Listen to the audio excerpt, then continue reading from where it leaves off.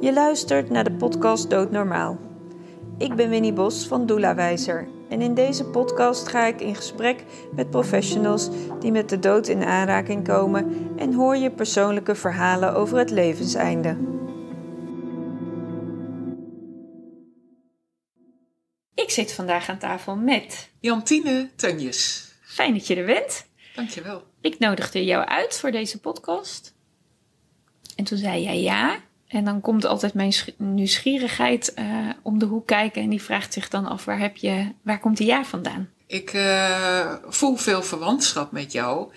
Omdat we allebei wel iets met sterven en de dood hebben. Want wat, uh, wat heb jij zelf met het sterven en de dood? Wat, wat is jouw verwantschap daarmee? Een heleboel eigenlijk. Ik ben ooit ben ik opgeleid als arts alweer een aantal jaartjes geleden. Mhm. En uh, ik heb de kant gekozen om als ouderengeneeskundige te gaan werken. Mhm. Als ouderenarts. Dat was toen nog verpleeghuisarts. En oh, het heet nu specialist ouderengeneeskunde. Ik ben ook nog als zodanig geregistreerd. En uh, heb ook jarenlang in loondienst gewerkt. En daarbij heel veel mensen zien sterven. En daar uh, ja, van alles in ervaren en gezien. Yeah. Begeleid ook heel veel. Dus uh, dat is ook heel mooi. Maar ik heb ook familieleden uh, zien sterven. Mm. Langer geleden, maar ook recenter. Dus yeah. daar ook heel veel in gezien. Yeah. Ja. En, en wat zijn dingen die je daarin gezien hebt? Wat, wat heb je meegemaakt? Wat is je opgevallen? Uh, wat mij heel erg is opgevallen, ehm, toen ik, als ik dan even vanuit mijn werkervaring, mm -hmm.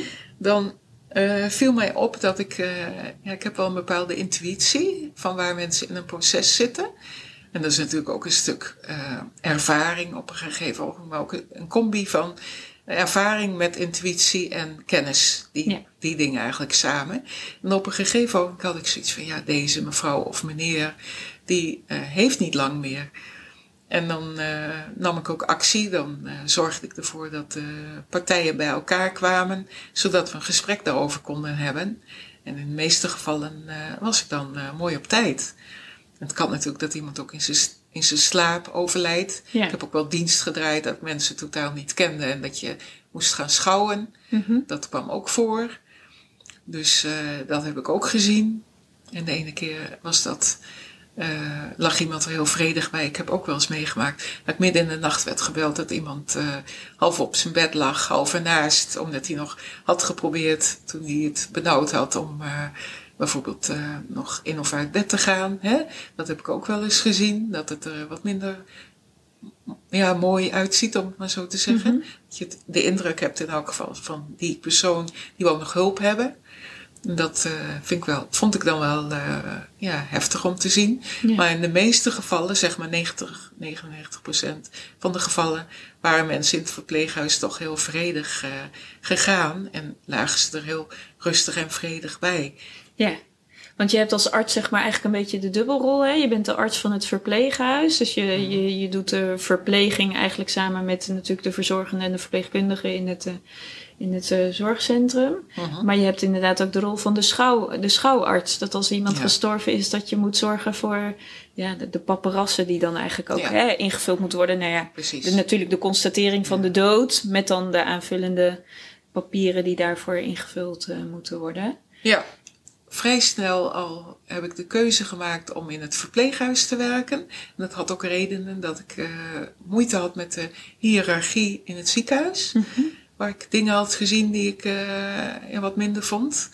En uh, nou ja, dat je daardoor uh, veel geconfronteerd werd met eindelevensprocessen en de dood. Dat, ja, dat is ook iets wat er dan al heel snel bij kwam. Ik bedoel, het is meer dan alleen wonden verzorgen en diabetes instellen. En mm -hmm. nou ja, komt ook heel veel bij. Het is een heel gevarieerd vak wat dat betreft hoor. Dus uh, ook heel interessant wat dat betreft. Ook zeker voor jonge artsen om die keuze te maken, want het is wel heel breed. En wat leggen ze uit, breed? Want voor mensen die daar echt totaal geen beeld van hebben, wat, wat is de breedte van het vak van dat je echt in die oudere geneeskunde actief bent? Nou, eigenlijk is, het uh, zoals huisarts, als een heel generalistisch uh, vakgebied. Dat is Mhm. eh, heel, heel breed. Dat gaat van eh, kleine kinderen tot, eh, tot eh, ouderen. Maar daardoor ook weer oppervlakkiger in bepaalde opzichten hoor. Ook niet altijd. Want ook daar zijn specialismen in mogelijk. Mhm. Maar ehm, daar heb je wel de hele breedte eigenlijk. Maar als ouderenarts heb je dan wel een, ja, alleen vooral de ouderen, maar daar bedoel ik ook mee. Wat er in een verpleeghuis zit en in een thuissituatie kan bijvoorbeeld ook jongere mensen zijn die een ongeluk hebben gehad en hersenschade hebben bijvoorbeeld. Ik heb ook bijvoorbeeld met mensen met NAH gewerkt, dat is niet aangeboren hersenletsel. Ja. En dat kan zijn na een ongeluk. Mhm. Maar dat kan ook zijn eh, door eh, eh, een of andere ziekte. Daar heb ik ook van alles gezien. Ja. Dus eh, in die zin is het ook wel weer heel breed. En ook wat je doet eigenlijk voor de mensen is ook breed. Ja. Ja, want het, wat de mensen die in uiteindelijk een verpleeghuis terechtkomen, dat is wel de afgelopen jaren heel erg veranderd. Hè? Ja, Want voordat je tegenwoordig in een verpleeghuis komt, dan moet je wel echt eh, heel veel mankeren. Ja. Heb ik het idee. een zware indicatie moet je kom- hebben. Daar kom ja. je niet zomaar meer, zeg maar. Nee, klopt. Nee. Nee. klopt. Dus daar zijn mensen, de duur, kan ik me zo voorstellen van mensen die in een verpleeghuis verblijven, is de afgelopen jaren, tenminste geen idee, want ik heb cijfers niet bekeken, maar ik kan me zo voorstellen dat de duur van het verblijf van mensen in het verpleeghuis aanzienlijk korter is geworden. Klopt, omdat ze er al slechter in komen ja, en dus dan waarschijnlijk ook niet zo lang daar hoeven te verblijven. Dat dat? klopt. Ja, helemaal. Ja, Ja. want ze komen al met een zwaardere indicatie binnen. Ja. Vroeger had je nog het bejaardenhuis. Als je al Ja. 65 was, dan ging je naar het bejaardenhuis. Ja. Daar kon je voor kiezen. En dan eh, was het meer een gezellige eh, groep oudere mensen bij elkaar die eigenlijk niks mankeerden. En eh, ja, ik denk zelf dat er ook wel weer vormen voor komen hoor. Te- Ja. In de toekomst. Dat eh, mensen bijvoorbeeld in een soort commune of zoiets, eh, moderne commune, commune gaan samenleven. Omdat ze het gewoon gezellig vinden en elkaar kunnen ondersteunen. Ja. Hè, daar, daar wordt ook wel steeds meer, of dat zou iets voor de toekomst kunnen gaan worden. Ja. Hè, maar eh, aan de andere kant, eh, in een verzorgingshuis zitten al veel zwaardere zorgcliënten Ja. en patiënten Ja. dan een tijdje terug. En daar heb je ook wel allerlei vormen in. ja, want wat zijn die verschillen dan? Komt erop neer, je hebt particuliere instellingen. Ja. Je hebt ehm, de eh, zorginstellingen waar je een indicatie eh, heel duidelijk voor moet hebben. En daar heb je verzorgingshuizen en verpleeghuizen. Je hebt bijvoorbeeld ook eh logeerinstellingen Mhm. of een soort eh, zorghotels. Daar verblijven mensen dan tijdelijk, eh, als bijvoorbeeld de partner tijdelijk uitvalt, bijvoorbeeld geopereerd moet worden, ja. bijvoorbeeld. Of als ze uit het ziekenhuis komen Ja. of zo en dan hersteltijd nodig hebben. Ja, bijvoorbeeld. Ja. En ehm, zo heb je ook hospices, dat zijn een soort sterfhuizen. Dan heb je wel een redelijke range aan de verschillende ehm, soorten zorg die er eigenlijk zeg maar zijn. En in Mhm. welk gedeelte heb jij nou je, vooral je rol ehm, eh, in de beginperiode? En dat is natuurlijk gaandeweg de Mhm. jaren in de verandering van eh, al dat soort vormen Ja. natuurlijk ook veranderd. Maar waar heb jij eh, vooral, ben jij actief geweest? Vooral in het verpleeghuis. Ehm, dus dat is eigenlijk in de tweede lijn, zoals dat dan Mhm. wordt genoemd, tweede lijnszorg. Ja. En later ook wel vaker ook in de eerste lijn, dus in samenwerking met de huisarts. Ik heb Ja. ook een paar jaar, eh, nadat ik als zelfstandige begonnen ben, heb ik ook eh, in een paar zorginstellingen eh, gewerkt. Waar ik ook heel duidelijk in de eerste lijn werd ingezet. Dus niet zozeer als behandelaar, maar meer meedenker en ondersteuner en adviseur. Want wat is het verschil tussen in- eerste lijns en tweede lijns zorg? Tweede lijn, dat is als mensen zijn opgenomen in een eh, instelling waarbij ze een eh, duidelijke indicatie hebben, eigenlijk de reguliere zorginstellingen zoals verpleeg- en verzorgingshuizen. Nou, verzorgingshuizen, daar kan ook nog een huisarts wel betrokken zijn, maar niet altijd. Maar verpleeghuizen zijn eigenlijk wel de echte tweede lijns instellingen. Oké. En de eerste lijn, dat is als de huisarts eigenlijk eh, meer de baas is, zou ik maar zeggen. Dat is eerste lijnszorg. Ja. Zo wordt dat genoemd in Nederland. Oké. En dan Ja. ben jij ondersteunend aan de huisarts eh, actief. Ja. eh, om Ja. hem dan bij te staan. En wat ik nu doe, dat is eigenlijk eh, op een soort dagbehandeling. Daar komen heel veel mensen met ziekte van Parkinson. Mhm. En ook mensen met niet aangeboren hersenletsel of zelfs dementie. Mhm. En daar uh, ondersteun ik dan weer op die MDO's, multidisciplinaire overleggen. Ja, ja, ja. En dat zijn een soort medische overleggen hè, met het team. Uh, om te kijken wat is de status van alle mensen. Hoe staat iemand erbij? Wat voor zorg heeft hij nodig? In welke fase zit hij? Moet er nog wat bijgesteld worden? Zijn doelen haalbaar? Ja, bijvoorbeeld uh, met de fysiotherapeut uh, kan daar nog wat anders ingezet worden.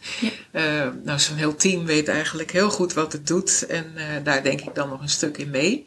Dan kan ik nog even wat vragen stellen. Of nou ja, dat soort dingen eigenlijk. Ja. Maar goed, als je dan zo zit in die, in die verpleeg- en die verzorghuizen, dat zijn natuurlijk mensen, hè, de vergrijzing in Nederland is groot. Uh, het aantal ouderen neemt enorm toe.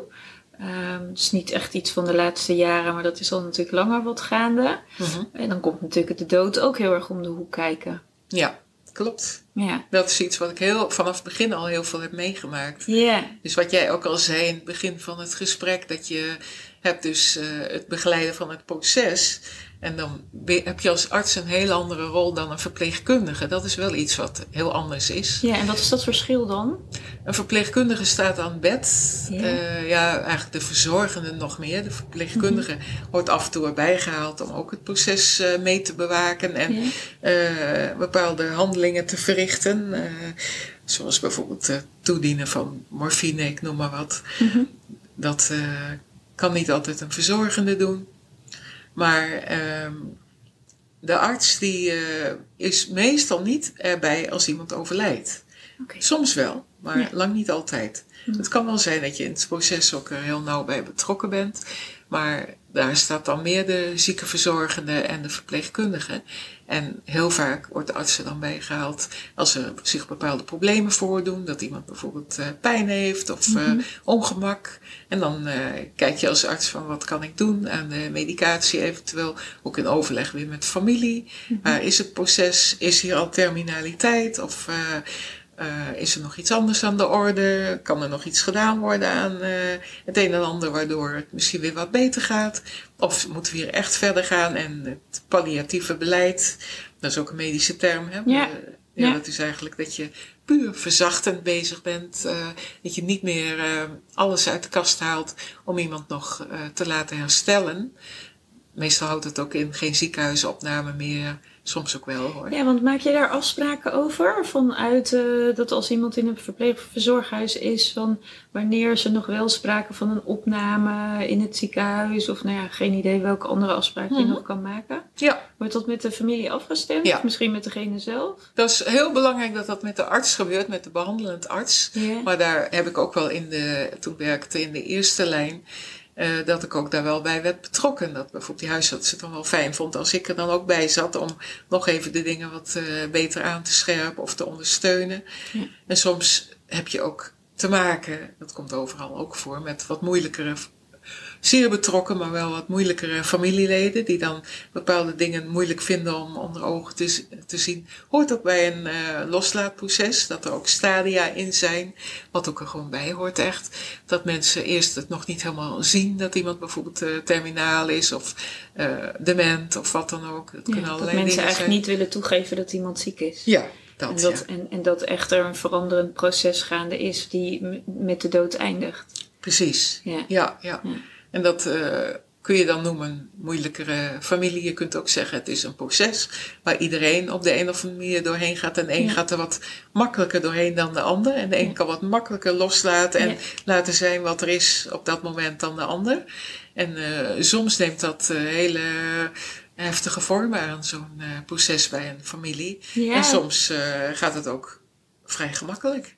En wat bedoel je met soms gaat het heftige processen? Waar moet ik dan aan denken? Nou, dat de familie het niet kan aanvaarden en dat oh, ja. ze zich vastbijten in uh, dat iemand nog moet herstellen en dat ze alles op alles willen zetten dat iemand nog uh, naar het ziekenhuis gaat, terwijl dat eigenlijk zinloos is of dat er nog een revalidatie plaatsvindt, terwijl dat eigenlijk al niet meer uh, aan de orde is. Dat ik al zie als arts van nou, dat is eigenlijk zinloos. Die persoon die is zo moe en zo op, daar moet je niet meer enorm aan trekken om nog naar een herstel te gaan, want het kost te veel energie. Je moet eigenlijk een soort kostenbatenanalyse ja. dan maken. En dat gebeurt ook op grond van die dingen die ik net weer zei. Van ja. een stuk ervaring, een ja. stuk kennis en een stuk intuïtie. Waardoor je die afweging maakt van, is het nog verstandig dan wel uh, reëel om je nog uh, van alles uit te halen. En waar blijft dan de mens waar het over gaat? Heeft hij daar ook nog iets over te zeggen?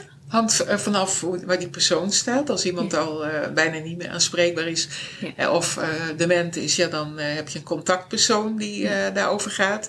En in veel gevallen is er gelukkig al een beleid vastgesteld, wat jij net ook al zei. Ja. Dat is al in een eerder stadium meestal vastgesteld met de persoon zelf of met familie. Soms hebben mensen een euthanasieverklaring. En soms uh, is er ook uh, al in een eerder stadium vastgesteld van dat die persoon bijvoorbeeld uh, niet meer gereanimeerd wil worden, niet meer naar het ziekenhuis wil of niet meer naar de IC. Ja. Dat zijn allemaal van die afspraken die je kunt maken. Geen zondevoeding meer bijvoorbeeld. Ja. En soms ook wel. En, en, en wordt dat ook toegepast? Want ik ben zelf wel eens -hmm. ooit in een was het nou een verpleeghuis of een verzorghuis, dat weet ik eigenlijk niet. Maar waar ik terecht kwam was uh, de zwaar dementerende afdeling waar uh, letterlijk een code op de deur zat. Mm -hmm. En uh, ik was daar samen met een groep medestudenten waarbij een van mijn medestudenten had een, een opdracht uitgeschreven. Dat wij daar met elkaar een dag ja, warmte, liefde en zorg zouden komen bieden. En we werden ieder op een, een afdeling ingedeeld dat had geloof ik de zorginstelling gedaan. Ik weet eigenlijk niet eens meer hoe dat is uh, geweest. Mm -hmm. En, um, en ik kwam op de zwaar dementerende afdeling. Dus Mhm. Geen idee waarom ze mij daar stopten, maar daar vonden ze me heel geschikt voor. Mhm. En ik heb daar werkelijk waar met mijn mond open, met grote verbazing, toegekeken wat daar gebeurde. Mhm. Daar werd, werd een vrouw eten toegediend die in alle toonaarden liet blijken dat ze dat niet meer wilde. Oh, jeetje. En dat Ja. werd toch toegediend. Ja, dat is heftig.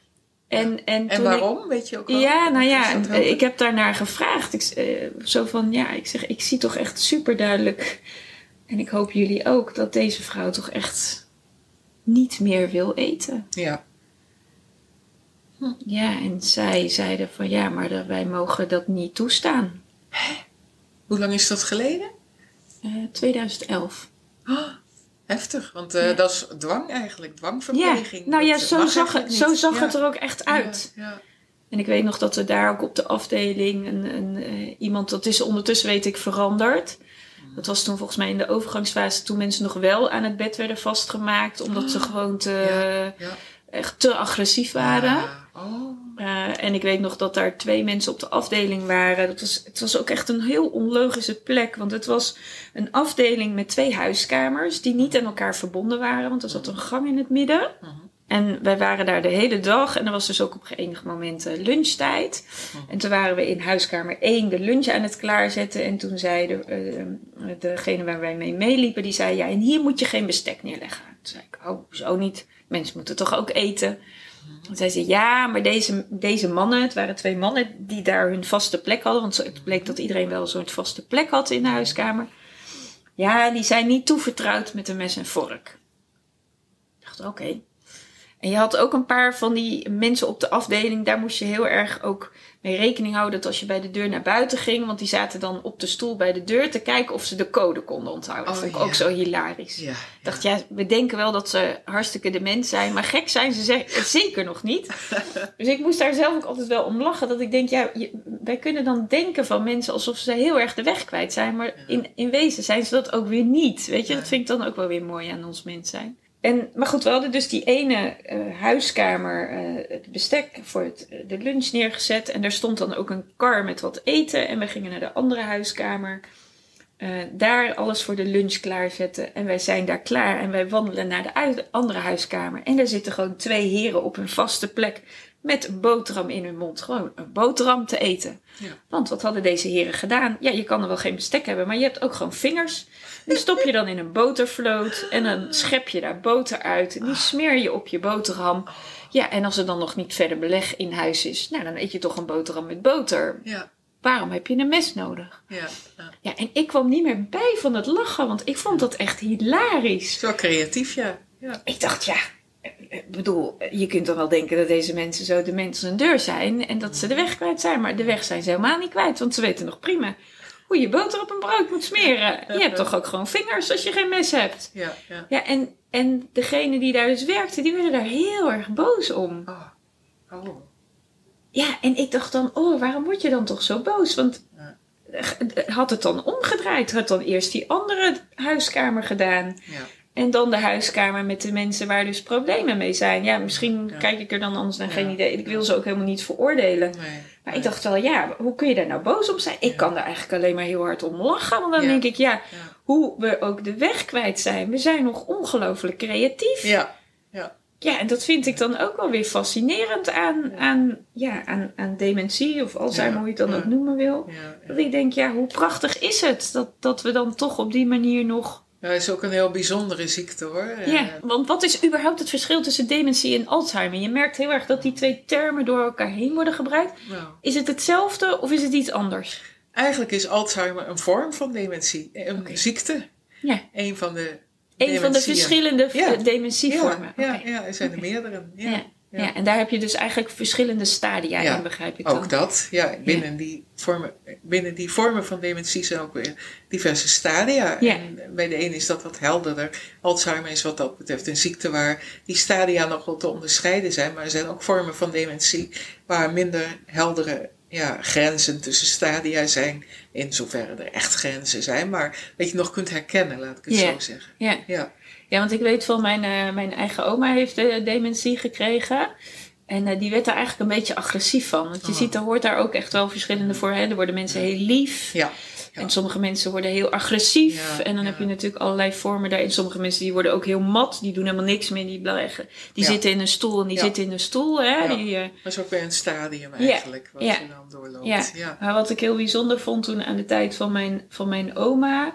Was, eh, nou goed, vanuit mijn werk als uitvaartverzorger was ik veel op dementieafdelingen geweest. En nou, dan kwam ik wel eens op een afdeling en dan, zei, en dan zat ik met familie in een kamer een uitvaart te regelen. En dan was dus dan zo'n iemand van de afdeling. Ja, ik wist niet dat ze van de afdeling was, maar dan werd iedere keer de deur open en dicht gedaan. En dan Oh, ja. weer open en dicht. En dan zat ik daar misschien twee uur in gesprek. Ja. En dan na een half uurtje zei de familie: Ja, dat, is, dat noemen ze hier de conciërge van de afdeling. Komt altijd even checken achter Ah. iedere deur of het oké is. Ah. Dat vond ik dan ook altijd wel weer aandoenlijk. Ja. Denk ik, ja, hoe mooi. Dat is ook heel mooi. Ja, ja. Eh, maar mijn oma, ehm, ja, weet je, ik kan heel erg met mensen die de weg kwijt zijn. Ja, ik klets maar gewoon mee. Ik denk, ja, die mensen kunnen er ook niks aan doen dat ze de weg kwijt zijn. Nee. Maar mijn oma, die werd dus altijd heel erg boos. En zij heeft een tijdje bij mijn ouders ingewoond. En dan kwam ik wel eens op bezoek en dan ging ik naast haar zitten. En dan zei ik, hé hey, oma. En dan, dan gaf ze me echt zo'n duw, weet je wel. Zo van, opzouten, zei ze dan. En dan keek ik echt zo aan, want zo kende ik haar helemaal niet. Ze was een hele, heel lief Ja. mens. En dan keek ik zo naar en zei ik, oh, nou, ik zit hier eigenlijk wel prima. Ik was niet van plan om hier op te staan, zei ik dan wel eens. En dan kon het echt met echte dit, weet je wel. Echt zo'n vingerknip. En dan ineens zei ze, oh, hey Winnie, wat leuk dat je er bent. En dat duurde dan misschien vijf minuten. Mhm. En dan ineens was ze weer heel agressief, Ja. weet je. Dan werd ze weer Ja. heel erg, dat dan wilde ze me weg hebben. En Ja. Dus zat ze me bijna uit te schelden. Zo. Ja, ja. Ehm, dat vond ik fascinerend Ja. hoe snel dat brein dan zeg maar zo kan, eh, kan schakelen. ja. ja. Dat is ook het beschadigde brein natuurlijk. Ja. Hè? Ja. Want i- is er een reden waarom mensen dementie krijgen? Is, is, is, of is, er, is daar een reden voor? Nou, het is ook een, voor, een ziekte in feite, zoals Ja. je ook het aan je hart kunt krijgen. Ja. Zoals je ook, kijk, je kunt het eh, puur medisch bekijken, hè, Ja. vanuit medisch perspectief. Dus met alle ziektes zo. Je kunt ook eh, wat breder kijken naar... eh, Spiritueel of zo? ja. ja. ja, en daar ben ik alle twee wel voor te vinden. Om, Ja, en als je het heel medisch bekijkt, wat is dan jouw... Puur medisch, dan is er een of ander iets in de hersenen wat Mhm. door veroudering vervormt. eh, vaten die slechter worden, dan heb je bijvoorbeeld de vasculaire dementie. Mhm. Eh, of eh plaks die in de hersenen ontstaan, waardoor Alzheimer ontstaat, of mengvormen. Je hebt ook nog ehm, een dementievorm die lijkt heel erg, dat wordt Lou- Lewy body genoemd. Dat is weer, eh, lijkt heel erg op eh, Parkinson, Parkinsonistische kenmerken. Word je trager, dan schakelt je brein minder snel. Dat heeft ook minder die stadia. Daar kun je ook Mhm. heel lang in hetzelfde stadium blijven eh, hangen. Dus daar heb je ook allerlei vormen in. En als je dan spiritueel bekijkt? Dan kun je je afvragen, wat is dementie? En Ja. waarom eh, willen mensen vergeten? Ja, en, precies. eh, ja. Waarom is dat? Ja, ja, daar heb ik ook niet een eh, eensluidend antwoord op. Nee. Maar ik heb wel het idee dat heel vaak mensen trauma's oplopen in hun leven, waardoor ze bepaalde dingen liever niet, of heel erg dingen hebben onderdrukt. Wat ik bijvoorbeeld ook wel heb gezien, dat mensen door de, dement te worden, dat er laagjes afgaan bepaalde beschermingsmechanismen, noem ik het dan maar even, of laagjes van de ui die afgepeld worden. Mhm. Als je ook aan persoonlijke ontwikkeling doet, dan kan het ook zijn dat je al, uh, terwijl je niet ziek bent, bepaalde lagen af kunt pellen, waardoor je dichter bij jezelf komt. En ik heb ook de indruk dat door dement te worden, het is aan één kant een ziekte, maar je gaat ook bepaalde laagjes gaan er van de ui af, waardoor iemand juist dichter bij zichzelf komt. En dat een stuk wel, een stuk ook weer niet. Want je krijgt ook een stuk vervorming ook door die, door die hersenziekte. maar je ziet ook heel vaak dat mensen dan eerlijker worden. Ik heb bijvoorbeeld ook wel een familielid dat dan uh, uh, vroeger heel, heel uh, bepaalde dingen nooit zei. En nu wel bepaalde dingen gewoon bij namen noemt. Dat ze gewoon zegt van nou... Uh, waarom doe je dit? Of, of wat doe je raar? Of wat vroeger verholen of verstopt werd, hè, of door een laagje bedekt was. Je ziet ook, wat jij ook al zei, worden mensen agressiever. Worden ook mensen worden, uh, liever. Dus het kan zijn, ik heb ook zo'n persoon heb ik gekend, die was altijd heel, was een man, die was uh, best stoer bij het leven. En toen hij dement werd, ging die stoerigheid er meer af, die beschermlaag eigenlijk. Dus die muur in feite, hè, want zo kun je mhm. stoerheid ook een stukje zien. En uh, werd hij heel lief en begon hij iedereen te begroeten en kusjes uit te delen en zo. Dus uh, ja, ja, kan eigenlijk alle kanten op. Maar het, heeft wel, het heeft een link met trauma's. En zo zie ik het wel een stukje, ja. ja. ja. Want het kan ook zijn dat er bijvoorbeeld bepaalde trauma's van vroeger heel erg naar de voorgrond komen. Dat iemand in één keer uh, uh, weer in het concentratiekamp is. Uh, dat er bepaalde dingen op zo'n afdeling daaraan doen denken. En dat is wel heel dramatisch natuurlijk. Ja, want als je nu kijkt natuurlijk naar de leeftijd. Ik bedoel, er zijn ook wel wat jongere mensen die 40 of 50 zijn. Die ook wel deze ziekte kunnen krijgen. Mhm. Maar over het algemeen genomen uh, zijn het natuurlijk wel vooral de 70, nou ja, 60, 70-plussers. Mm -hmm. Als je dan natuurlijk terugkijkt in de tijd, dan zijn het al, uh, veel mensen die vooral de, de, Tweede Wereldoorlog hebben meegemaakt. Ja. Of hè, sommigen die zelfs nog heel oud kunnen worden, hè, die de 100 overstijgen, beide wereldoorlogen hebben meegemaakt. Ja. Um, uh, en dat is natuurlijk afhankelijk van waar je dat hoe hebt beleefd of in wat voor gezin je bent grootgebracht. Ja. Uh, dat zijn natuurlijk vaak wel scenario's geweest waar uh, ja, trauma's bespreken of daar aandacht aan geven. Daar zijn we natuurlijk in de jaren daarna helemaal niet mee bezig geweest. Nee. Want er was aandacht voor wederopbouw. Ja. De wereld moest weer, het land moest weer ja. opgebouwd worden. De gezinnen moesten weer met alles wat ze, uh, wat ze verloren hadden weer, weer herstellen. Ja. Uh, maar iedereen kent natuurlijk de verhalen van uh, er was altijd zo'n stilzwijgend iets ja. aanwezig. Ja. Ja, Iets wat je gevoeld hebt altijd ja, wel en precies. wat er dan in één keer uit kan komen. Hè? Ja. Dat altijd onderdrukt is in feite en wat dan in één keer niet meer onderdrukt kan nee. worden. Dat zijn de trauma's en dat kunnen allerlei dingen zijn. Dat kan de oorlog zijn. Het kan een kind zijn wat je verloren hebt en waar je nooit erkenning aan hebt gegeven. Het kan, ja, het kan alle kanten op wat dat kan, betreft. of mishandeling of seksueel misbruik of dat soort dingen. Die komen heel vaak dan boven. Ja, of misschien wel een gewelddadige relatie of iets met het geloof. Of weet je, Klopt, hoor. trauma's kunnen natuurlijk op allerlei lagen van je leven plaatsvinden. Klopt. Ja. ja, en als je dan terugkijkt in de tijd, kan ik, kan ik dat wel heel erg volgen dat het, daar, dat het daaraan gelinkt is. Mm -hmm. Ik heb nu een, uh, ja, die, die ook dementerend is. Ja, ik zie ook haar ontredderdheid, zeg maar. Uh, maar goed, die heeft ook de Tweede Wereldoorlog meegewerkt. Die had ouders die in Indonesië ah. in die tijd, uh, weet je wel, hebben gezeten. Ja. En daar vertelt ze nu ook verhalen over. en dan, ja, dan dan kan ik ook echt zo voorstellen dat ik denk, ja, dat was ook geen makkelijk leven wat je nee, hebt gehad. Uh, nee, zeker. Ja. Maar ze blijft zo, zeg maar. Um, ja, ze zegt de hele tijd, ja, dat weet ik niet meer, zegt ze dan. Ja, ja, ze, de, ja, ja. het is een beetje de. Aan de ene kant uh, zie je ook in zo'n dementieproces dat in het begin bepaalde dingen juist heel erg boven komen. Ja. En later dat er ook een soort roes van vergetelheid komt. Ja. Wat bijna genade kan worden genoemd. Hè? Dat je bepaalde dingen helemaal kwijtraakt. Ja. Dat is ook weer een andere kant aan de, meda ja, van dat, de medaille. Ja, dat merk ik ook wel aan haar. Zij kan echt haar, haar, haar man kan zeggen dat hij boodschappen aan het doen is. En dan staat ze bij mij weer in paniek aan de deur. Uh, heb je mijn man gezien? Ach. Terwijl die zeg maar een minuut daarvoor is vertrokken en gezegd heeft dat hij naar de winkel gaat. Maar dat is zij dan gewoon al een minuut later weer vergeten. Dat is het korte termijn geheugen wat dan steeds slechter wordt. Ja. dat wordt echt steeds slechter. Uh, bedoel, het is mijn familie niet, maar dan, ik, dat raakt me dan toch wel om Oh. iemand zo verloren soms te, zien, eh, te zien zijn. En. Gewoon het ook echt niet meer weten. En niet meer, ja, gewoon niet meer kunnen bedenken. En dan, maar dan ook weer echt zo'n helder moment kunnen hebben waarbij, waarbij ze weer honderd keer hetzelfde zegt. Ja. En ik dan maar weer denk, ja, de, de, de eerste keer gaan we links, de tweede keer gaan we rechts. En, en ik blijf maar gewoon antwoorden op haar. Want ja, zij kan er niks aan doen dat ze het niet meer weten. Want dat Nee. is gewoon allemaal kwijt. Maar je kan je waarschijnlijk wel voorstellen dat het voor familie ook wel eens zwaar Oh. is. Dat die dan echt eh, af en toe gillend weg eh, willen rennen. Zeker. Gillend Ja, want ze is ook nog, dat vind ik ook wel fascinerend, is ongelooflijk eigenwijs. En echt eigenwijs. Dat ze dus ook niet wil toegeven aan het feit dat ze gewoon echt heel ziek is en Ja. hulp nodig heeft. Dat heeft ze heel lang Ja. weten af te houden. Het is ook heel vaak eh, het geen inzicht hebben in het eigen ziekteproces. Nee. Dat is het ook heel vaak. Het echt niet kunnen overzien ook. Dat nee, maar goed, haar partner heeft dat ook tegengehouden. Want zij zijn echt als de dood dat ze hun zelfstandigheid verliezen. Hmm. En dat snap ik wel. Ja. Want ik bedoel, als je natuurlijk altijd zelfstandig bent geweest en je Mhm. bent ook nog eens eigenwijs, je wil niet afhankelijk worden. Hmm. En Ja. zij zijn gewoon ongelooflijk bang dat ze hun, eh, dat ze hun eh, onafhankelijkheid ja, verliezen. dat wil geen mens in feite. nee, dat is, ook een eh, heel natuurlijke ja. reactie, denk ik. Ja. Maar dat maakt het voor hem als partner heel ingewikkeld. Want als ze s'nachts in, in paniek wakker wordt, wat ik dus wel eens van hem hoor. Ja, hij wordt uit zijn slaap gehaald. Ja, ja. Hij eh, heeft ineens kortere nachten. Ja.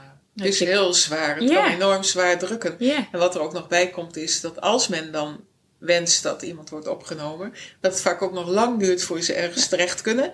Wat dan wel, ik word dan bijvoorbeeld ook wel eens als arts gevraagd voor een medische verklaring bij een ehm, RM, rechterlijke machtiging. En dan Ja. kan het zijn dat er toch tot snelle actie moet worden overgegaan om iemand toch tegen zijn, zijn of haar wil Oh ja. op te nemen in een verpleeghuissetting. En dan eh, word ik er wel eens bij geroepen om een medische verklaring af te geven. En wanneer krijg je dan zo... RM noemde je dat? Een rechterlijke macht? Machtiging. Machtiging, oké. Ja. In wat voor situaties wordt die toegepast? Nou, dat is als er eh, onder dwang moet worden opgenomen. Dus stel dat eh, op een gegeven moment ook de hele nacht aan het spoken is en de straat op rent in de naki en eh, misschien de gaskraan opendraait. Ik noem maar even Ja. hele heftige dingen. Dan komt er gevaar voor, ja, voor haar en voor de omgeving. En dan kan het zijn dat het noodzakelijk is dat ze op zeer korte termijn opgenomen wordt. En dan kan eh, naar een rechterlijke machtiging, eh, daar kan dan voor gekozen En dan moet worden. er eigenlijk heel snel een plek ergens Ja, worden Dan is er gecreëerd. binnen twee weken een plek nadat Ja. de verklaring afgegeven is.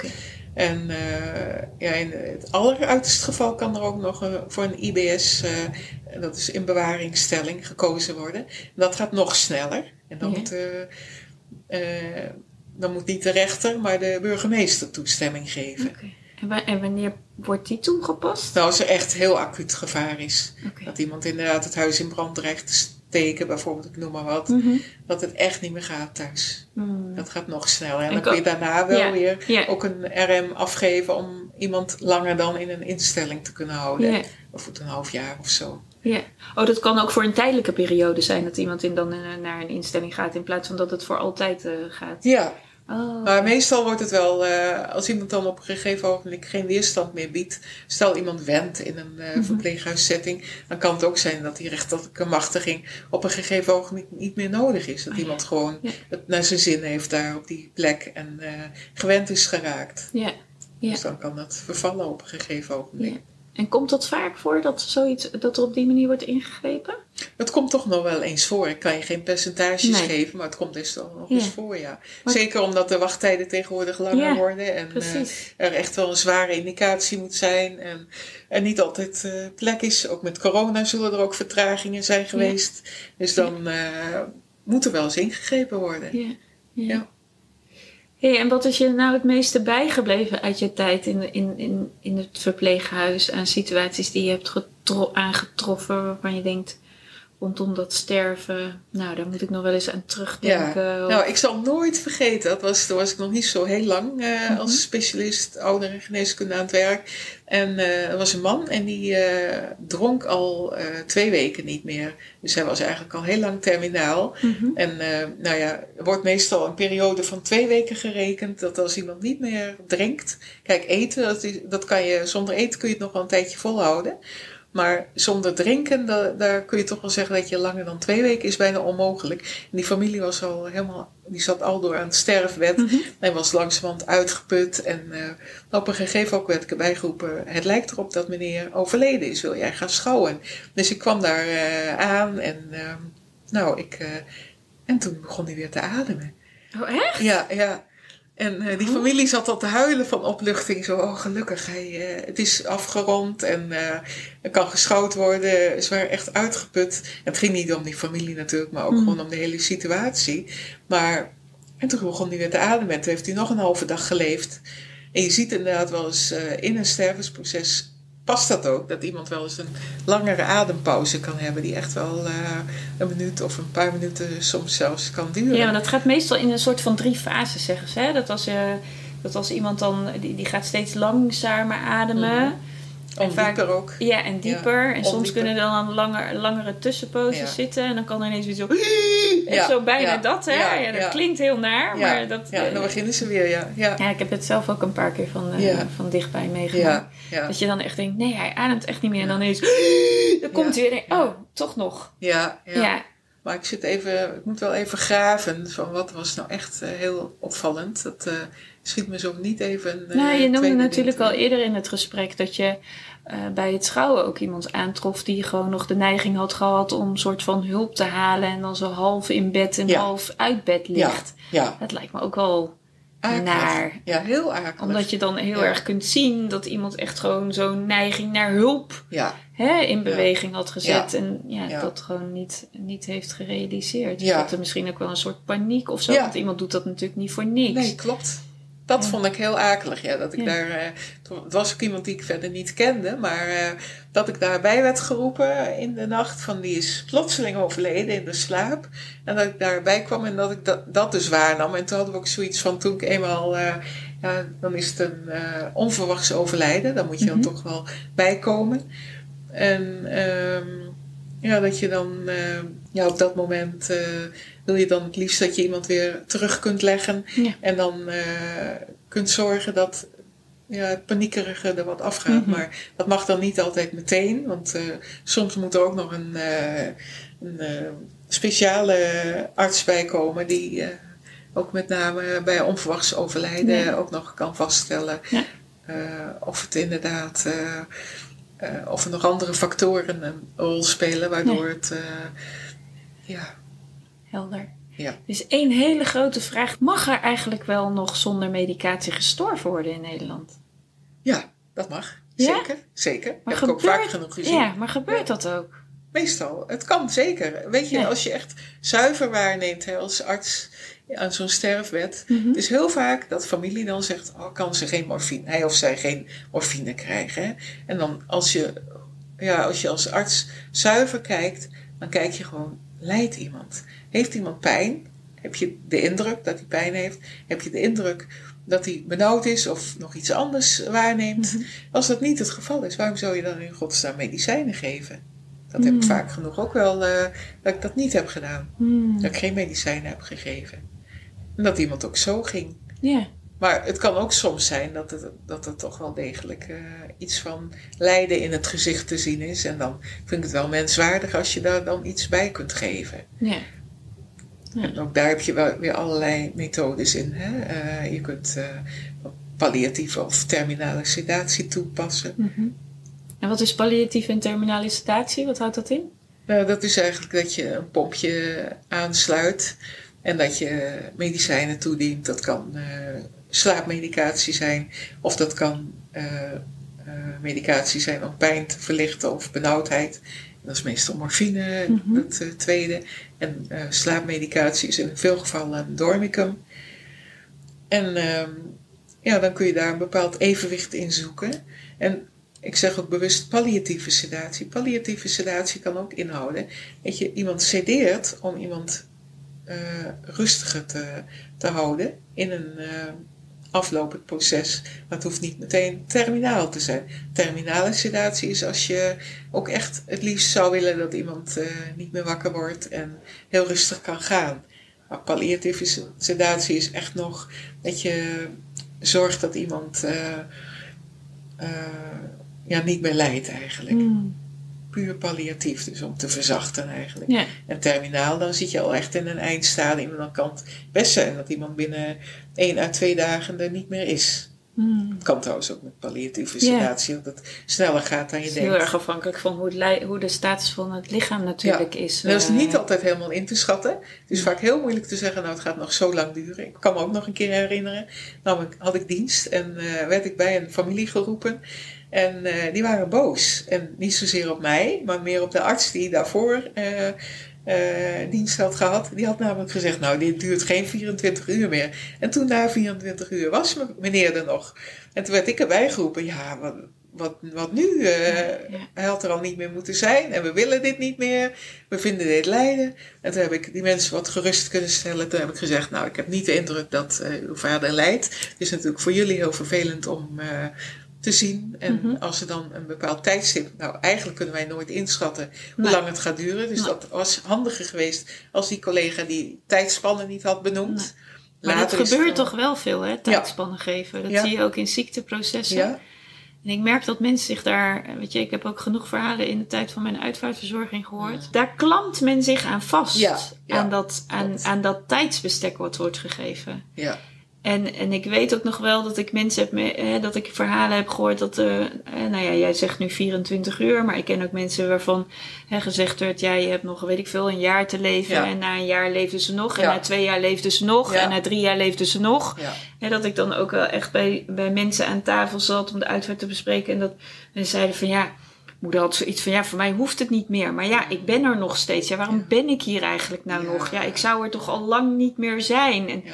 Dat, dat mensen ook een soort moedeloosheid van het leven hebben. Zo ja, ik wil hier niet meer zijn. Maar ja, Ja. hè, je bent er dan nog Ik heb wel. ooit een familielid gehad die eh, had altijd heel, heel erg gezorgd voor een ander, voor, voor een broer van haar. Die broer overleed vrij jong en toen was voor haar eigenlijk de zin van het leven een stuk voorbij. Toen kreeg ze er nog een beroerte overheen en daardoor ook eh, dat de hersenen minder goed werkten. En die, en ja, die was er altijd mee bezig van ja, waarom ben ik hier nou eigenlijk nog? Ja. Wat heeft het nog voor zin? En die vrouw die is echt dik in de negentig geworden, bijna honderd. Ja. En dan denk je echt inderdaad wel eens van, eh, wat is dit, hè? Ja, Ja.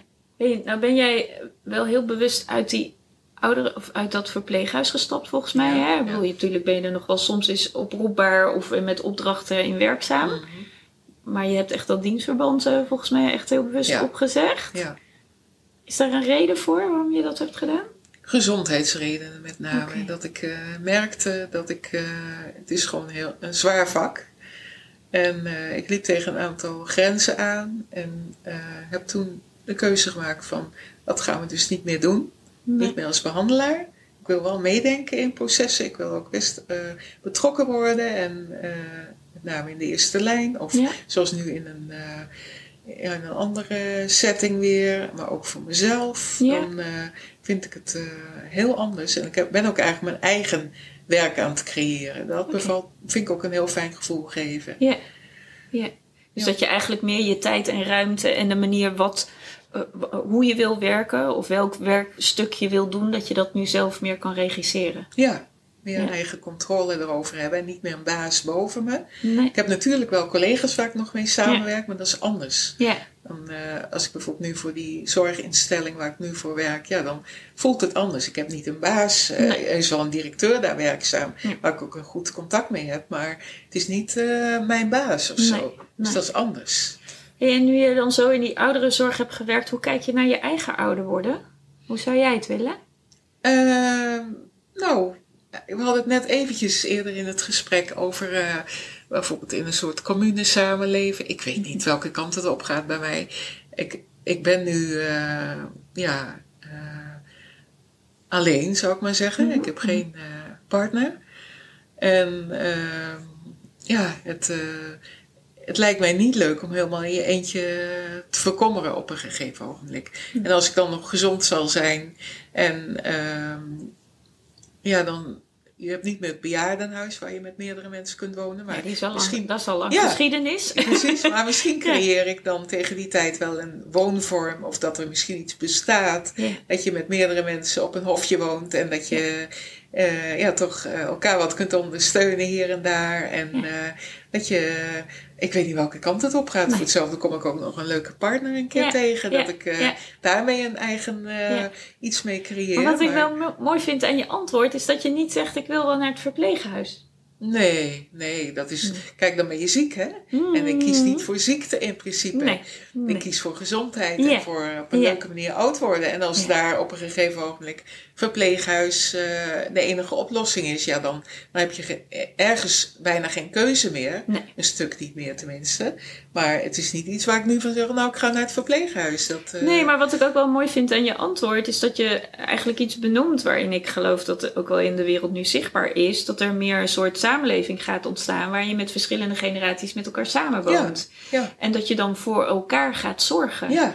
En dat eigenlijk dat verpleeghuis, zoals we nu hè, alle ouderen bij elkaar en alle jongeren bij elkaar en al die hokjes die we eigenlijk in ons leven gecreëerd, of eigenlijk in de maatschappij hebben gecreëerd, dat die eigenlijk soort van aan het verdwijnen zijn. En dat er echt op heel veel plekken een soort van commune, ja, communes, communes, weet ik veel hoe je ze, leefgemeenschappen geeft zijn naam, aan het ontstaan zijn. Waarbij je ook die verschillende generaties gewoon bij elkaar hebt. Ja. En waarin, ja, weet je, de, de ouderen hebben natuurlijk heel veel kennis te vergeven. Ja. Die prachtig is om dat door te geven aan, aan de jongere generatie. Hè? En of dat nou veertigers, dertigers of twintigers of nog jonger zijn, maakt allemaal niet uit. Het is juist mooi dat, die combinatie. Ja. Want het is eigenlijk zonde dat al die kennis van die ouderen, als ze daar nog in staat zijn om dat te geven, mm. als we daar niks mee doen. Ja, ja dat klopt. Ja. ja. Ik ben heel benieuwd hoe het er over een 10, 20, 30 jaar uitziet. Hoor. Ja.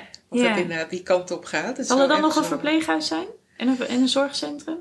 Mm, ik denk wel dat er de behoefte blijft om toch uh, wel uh, goede zorg te verlenen aan mensen die dat echt nodig hebben. Maar je ziet nu al dat er, uh, dat er bijvoorbeeld het, het verzorgingshuis, dat dat al een stuk aan het verdwijnen is. Maar je ziet wel weer als gevolg daarvan weer particuliere instellingen overal oprijzen dus, en ontstaan. Dus blijkbaar blijft er toch wel die behoefte, maar misschien in een iets andere vorm en wat meer uh, vanuit uh, wat mensen echt wensen. Dat, dat dat meer centraal komt te staan. Ja, dat is eigenlijk de mens eerst en dan de zorg in plaats van de eerste zorg en dan de mens. Ja, ja. en uiteindelijk blijft er een zorgbehoefte. Daar geloof ik wel in. Want uh, we worden ouder en het lijkt ook op dat mensen ouder worden dan uh, jaren geleden. En daardoor zijn er ook verouderingsziekten. Je kunt natuurlijk zeggen, nou misschien moeten we er in de toekomst naar streven dat dat minder gaat worden. Dat zou helemaal mooi zijn, dat je meer preventief mhm. zou kunnen werken, waardoor dat in mindere mate optreedt. Maar ik denk dat daar nog wel een tijdje overheen zal gaan. Ja, misschien moet ik dat niet hardop zeggen. Misschien kan dat al uh, binnen een korte tijdsbestek ontstaan. Dat zou helemaal mooi zijn. Ja, ja dat is wel een beetje mijn idealisme, dat, uh, dat dat zou kunnen. Ja. ja. Ja. Ja, dus oftewel, we weten het gewoon niet, de toekomst. Nee, precies. Nee. Maar dat het anders wordt, dat is een zekerheid. Dat idee heb ik wel, ja. Ja, sowieso. De hele samenleving heb ik wel het idee dat daar dingen in gaan shiften. Dat gevoel heb ik wel, ja. ja. Echt een nieuwe tijd ontstaan. Ja, zeker. Nou, volgens mij zitten we in een hele veranderende tijd. Ja. Dus laten we met nieuwsgierigheid de toekomst tegemoet gaan en zien hoe wij daar ook in gaan bewegen. Ja. Jij hebt jouw manier en ik heb mijn manier. Mm -hmm. En dan wil ik je heel erg bedanken voor je gesprek. Graag gedaan. Je hebt geluisterd naar de podcast Doodnormaal. Mijn missie is om het levenseinde doodnormaal te maken. Iedere vrijdag staat er een nieuwe podcast voor je klaar. Volgende week spreek ik met Irene Kersten over hoe zij rust brengt na impactvolle gebeurtenissen.